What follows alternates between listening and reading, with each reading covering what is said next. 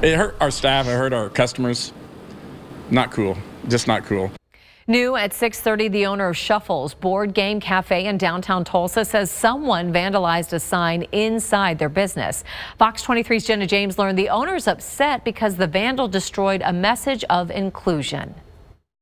The sign inside of Shuffles welcomes everyone, and they still welcome everyone, except those who choose to vandalize. To Shuffles owner Eric Fransen, vandalism at the Board Game Cafe wasn't on his bingo card this year. Being inclusive was the goal from the start. We wanted to have a place that was literally had the best board games and was open and inclusive to every single person. That's always been the foundation. But video from inside the shop on March 7th shows a customer not returning that same sentiment. Cameras caught someone pointing and laughing at the sign that reads, Everyone is welcome. After that, a guy in a cowboy hat walks up, tears down the welcome sign, and crumples it up. I would just ask him why. Why would you do that? They posted that they work hard to ensure that Shuffles is a safe place for staff and customers. Shuffles general manager Amanda Maples posted the video. She's designing a new sign. I think she's taking this on personally as well.